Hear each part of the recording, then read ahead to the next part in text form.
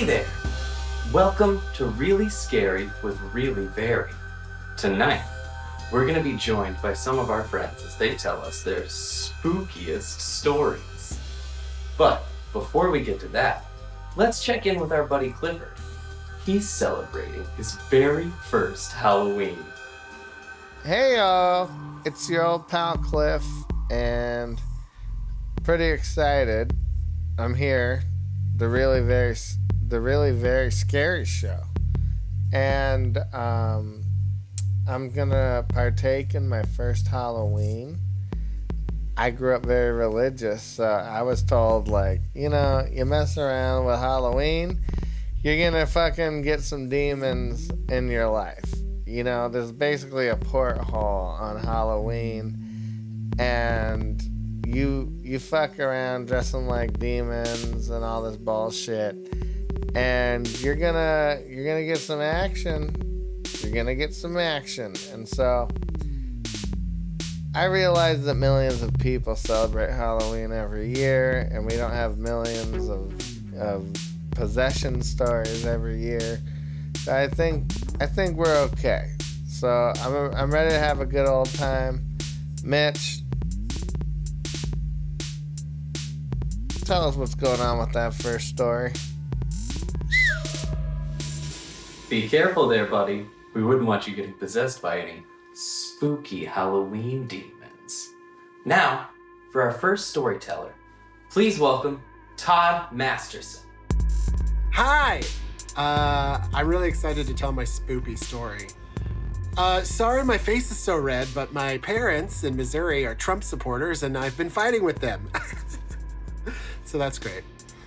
Uh, okay, where should I start? So, like I said, I'm from Missouri, and when I was in college in 2001 or 1999, I can't remember. It was either after the millennium or right before. Anyway, my friends and I were driving at night to go to a campground by a river because the next day we were going to do a float trip. now, if you don't know what a float trip is, it's where a bunch of drunk college people sit in rafts and float down a river for 17 hours and you just drink nonstop. Um, it's like white trash yacht club. So anyway, we're driving to go to this campground so we could do a float trip the next day. And we're driving through all these like back roads, hilly, just like super hilly, uh, I don't know, highways? No, super hilly roads. They're roads. I, do I know words? It, I don't know. Again, I've been fighting with my Trump supporting parents. So we're driving, it's probably midnight. We're driving these backwoods roads to get to this campground. And we may or may not have been pre gaming a little bit by passing around a bottle of apple pucker. Again, Missouri. So we're passing around this bottle of pucker. We're just driving, we're listening to loud music. I'm pretty sure we were listening to Lynyrd Skynyrd, at least every time I think of this story, we are. So I think we were listening to Lynyrd Skynyrd, driving to the campground, passing around a bottle of pucker. And we come over this hill, and right when we like crest the hill, is that the word? Why do I not know words? Anyway, right as we come over the top of the hill, I mean, instantly, a car was like, and I was driving, a car was just right in front of us, headlights, like like that, like coming over that hill, and I was like, "Oh, we're dead!" Like as soon as I saw it, I couldn't, I couldn't swerve, like I couldn't react, I couldn't scream. I was just like, "Oh, we're dead." But that car swerved just in time, and I think I might have turned a little. I don't even think I swerved. I think I just, just slightly turned the wheel because it was so fast. And that car sideswiped us so close that it knocked off my rearview mirror and it scraped up the side of the car. Um, but we just barely missed each other. Like, I'm talking like maybe an inch. Uh, and we would have had a head on collision and I could have died. So we freak out. We're really, and the car just kept going. They never stopped. And so we pull over in the next driveway uh, because I'm like shaking so scared and like freaking out. And I've never had any kind of like near death experience like this before. So I'm just like super freaked out and like shaking really bad. And we pull over in this driveway. Maybe five seconds later, like we just, I turned as soon as I could turn. And we're sitting there, like I jumped out of the car and like I kind of felt sick, like I was gonna throw up or something.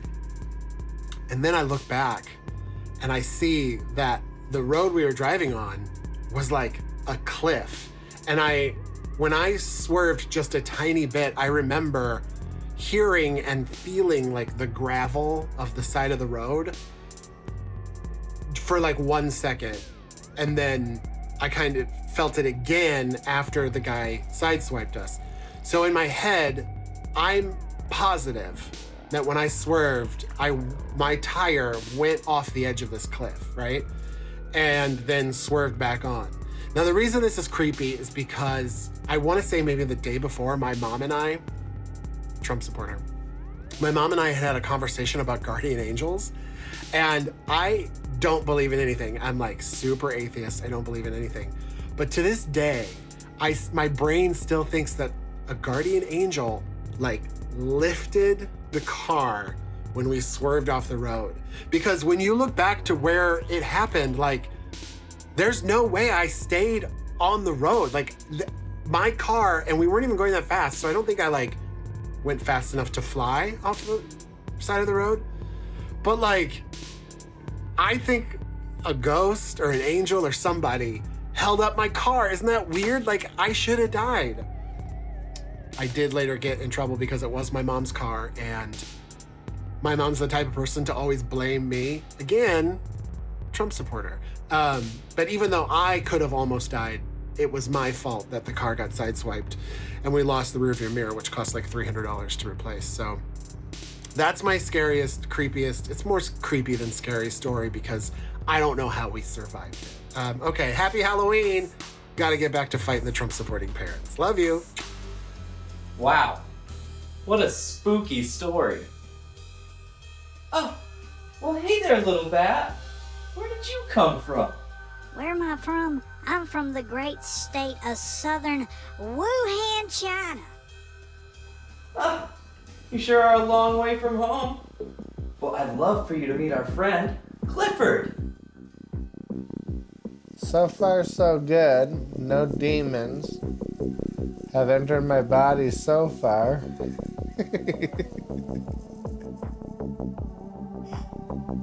but um, that was a truly horrifying tale. Up next, we have Danielle Perez.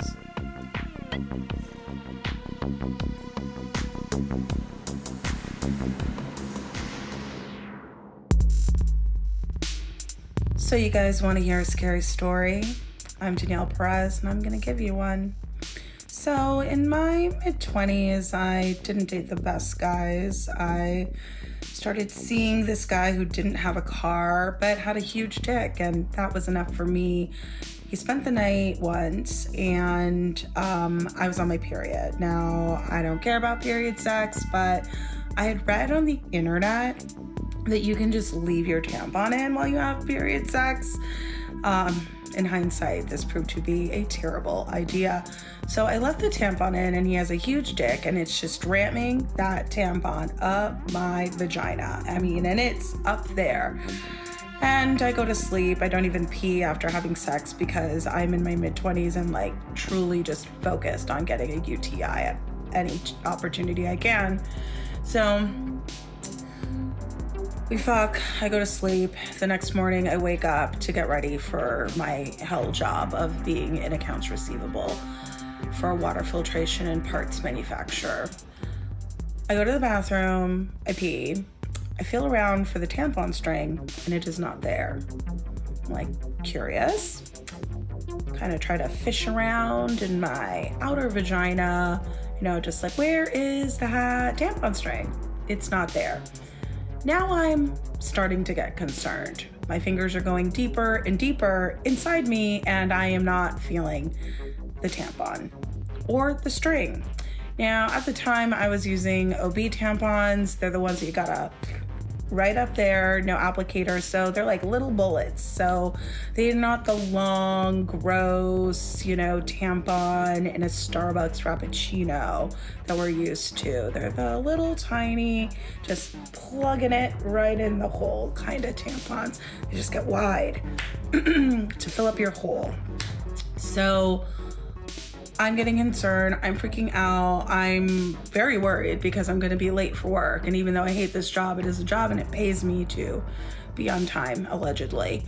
Um, I'm freaking out. My boyfriend, uh, well, the guy I'm fucking, um, he realizes that something's going on. He's like, Janelle, what's going on? I'm like, Chris, hi can you possibly fish around my vagina and try to help me get out this tampon? Now, we had been sleeping with each other for maybe two weeks. I mean, this is not a person I've had intimate conversations with. He had been inside me, yes, but I did not know his middle name. And he, again, did not have a car. So um, I'm sitting on my toilet he's on his hands and knees trying to get this object out of sight of me and um, it's not working. So then I have a brilliant idea. I was like, wait, wait, wait, what if I get in the bathtub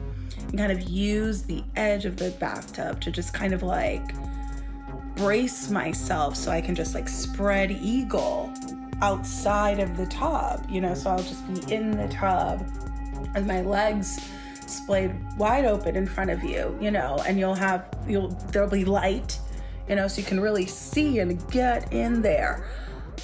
No loop, right? No, no, no nothing. Just hand inside my vagina while I'm spread eagle in a tub.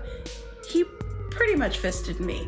And I was crying and it was bad and I was terrified that I was to have to go to the ER. That was the thing I was most scared about because then, you know, the ER, right? They're to ask questions like, why would a tampon be inside you? Because I read on the internet that you can leave your tampon in while you fucking have period sex. So I'm like, please get this tampon outside of me. He is able to fish it out. He's like a champion. He takes it out. He's holding the bloody tampon. He's a hero. I am eternally grateful. And um, then he told me that he didn't want to be my boyfriend anymore. So that's a pretty spooky, scary story, isn't it? That story gave me the creeps. What did you think, little bat? That's a lot of blood. And I like blood. oh. How about you, Cliff?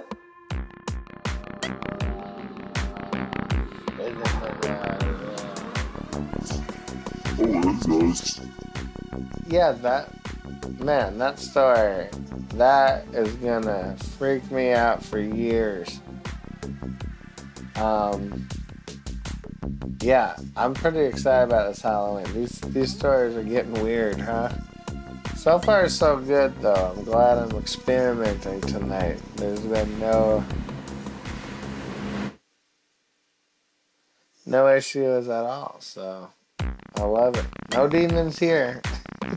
Let me get back to what I was doing.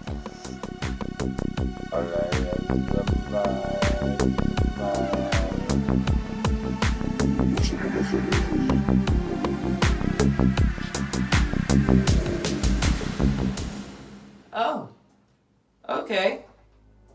Well, why don't we introduce our next friend? Please welcome Jason Webb. I used to work at this Christian camp. Uh, like we worked in guest services. It's like me and two of my other friends. And um, one of the jobs we had of uh, guest services was at night we just had to walk around to all the buildings uh, and turn off the lights. Uh, I just heard this ghost story the night before. I heard this story about Lantana. They were talking, uh, Lantana was the hotel that was on campus that anybody could rent out. Um, and it used to be a hospital. And I knew it used to be a hospital because, like, there was a morgue, and that's where we played ping pong ball because it was the coolest place on the whole campus. We would put we put ping pong tables in there, we put sofas we found in there, and like we would just go break into the morgue and play ping pong. So I knew it was I knew it used to be a hospital. I knew it was a morgue. We thought everybody went to heaven. Who cares, dude? It's not creepy at all. And so I knew it used to be a hospital, but I never heard the story about the gray nurse. Everybody that stayed in that room, I doubt it's everybody, but like a majority of people that stay in that room say that they're woken up in the middle of the night by a lady dressed in all gray standing over their bed. Her clothes look old and she just stares at him. And to me, that's just creepy if a normal person does it, but like, if it's like something you can see through, isn't that crazy? So it's my turn to turn off the lights. And I knew her room was the top one. And I go around to all of them, I turn them all off. And I get the lantana, I saved it for last because it's like a straight shot to the um, guest services. The top light's on. And I'm like, okay, I guess some kids went in there like telling ghost stories or whatever. So I go up there and I turn it off. And uh, I was scared. I was scared. And I was like, You are a grown man scared of an old lady's ghost. An old lady that cared about people, you're scared of her. So I was like, all right, I'll just fucking lights out, run downstairs as fast as I can, sprint towards the door. Anyway, I get out of the place and I'm getting in my truck and um, I look up and the light's on. And I'm like, okay. You know, you probably just did a shitty job. Like maybe there was two switches, you just hit one.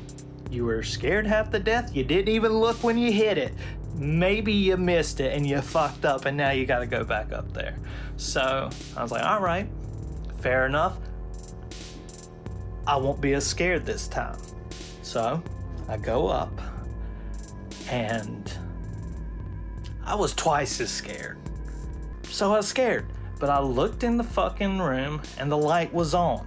I'm like, hi, maybe I didn't hit anything. Maybe I just hit the wall. It's like that's totally possible. So I go in there and I look at the light, one switch. I turn it off and I look in the room. I'm like, the light's off.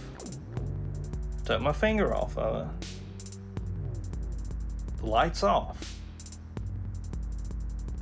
And then I ran downstairs. I skipped fucking seven to eight steps running down that son of a bitch. And I got out of the fucking house. And I get to my car. And I'm not even in the truck. Like I got to like the door. My hand's on the handle and I look up. And that fucking light is on again. And I'm like, you tried your best you know? Like, you looked and made sure it was off. We made sure you did that. That was me talking to myself. I was like, we made sure. We double checked. Right and left hemisphere, we checked with each other. And we made you do that. Now that's on again. I'm like, okay, someone's clearly messing with me. Some kids are trying to scare me. Guest services, just someone that's getting paid shitty to do my job. They're gonna try to scare me. I'm like, fair enough. I'm gonna scare them. So I go inside and I'm like, I bet it gets pretty scary in here when there's no way to turn on a light whatsoever once I'm gone. So I go into the kitchen, I open the breaker box, bah, bah, bah, cut them all off and I run out. And I'm like, I hope they piss themselves. I hope they piss themselves. And I get in my car and I start going down the road to guest services. It's like a straight shot. And I look in my rearview mirror and I see the light come on. Other times I just saw it on. This time I saw it come on. So I called the head of the camp and I told him, I was like, all right, um, don't know what's going on. First off, tell you that right up front, don't know what's going on. Uh, I turned the light off at the top. Came back down, back on again. Came back down, back on again. Came back down, turned all the power off to the building. The whole thing can't get power. Light back on. What do you want me to do about that? He's like, turn it off. So I, I said, fuck it, that thing can stay on. I told him it went off. He wasn't going to check. I was like, it's off now. He's like, good, go to bed. I was like, that thing stayed on all night. I guess that's more of a story of me just doing a bad job at something. Like, what's special about that? This time, a ghost was the reason I did a bad job. I did a bad job because of a ghost. Sorry. Don't fire me. I just got scared. No, I mean, I voted no. But... Okay, well, Cliff, how are you doing?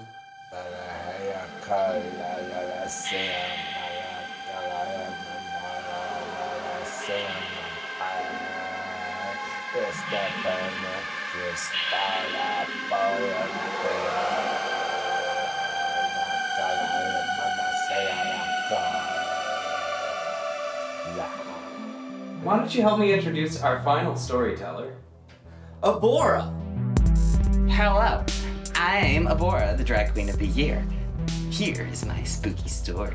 Now, a couple years back, I was dating my ex. He lived in Gwinnett, Georgia. It is the middle of nowhere. We were coming home one night after possibly fucking in the park, and we were getting a bunch of food out of the car. So we were talking to each other over the car, you know, like over the hood of the car. Uh, and we just, we all of a sudden started hearing a buzzing sound, like a bunch of bugs around us, right? Like a cicada kind of sound. And the sound just kept getting louder and louder and louder and louder until we couldn't even hear each other talk over just four feet of the car. So we, uh, but, so we're trying to talk to each other over this car.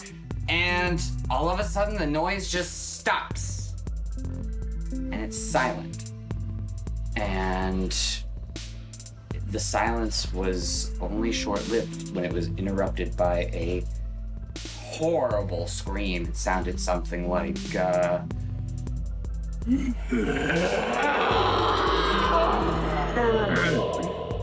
but much more scary. Uh, it sounded like a human scream that morphed into like a digitally enhanced howl.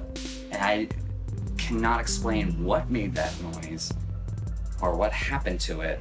Uh, after texting my ex recently, he's let me know that he's heard it three more times uh, since then, but never again. Uh, and yeah, it's not coyotes because they make a more yip, yip, yip, yip, yip, yip, yip, yip sound. And it was definitely bugs and then scream. So, yeah, that's my unexplained cryptid story. Thank you so much for tuning in.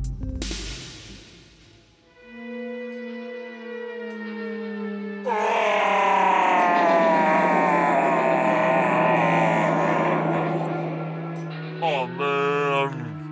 Fuck yeah. That was a fucking horrifying story.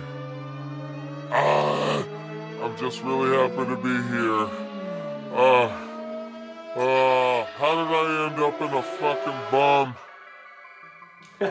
well, Clifford is possessed. But Demon, do you want to go ahead and play us out? Oh yeah! Ah! This was a lot of fun. I'm so happy I showed up. I dragged my fucking red nuts across hell, across the universe, to this little shitty blue dot. Ah! And I'm so happy I did. Thanks for having me. Whee! I gotta spend the day as a fucking bum. But here I am. Fuck yeah. Until next time, motherfucker. Oh no, Bat! Oh, Bat, stop! Stop it, Bat! I'm not gonna stop. We've been playing this back and forth all night long, and you don't think I got a little riled up? Give me some sugar. stop it, Bat! Stop! Please, stop, stop. Okay, stop. Guys, thank you so much for watching, and a huge thank you to all of our storytellers. Have a great night and a happy Halloween.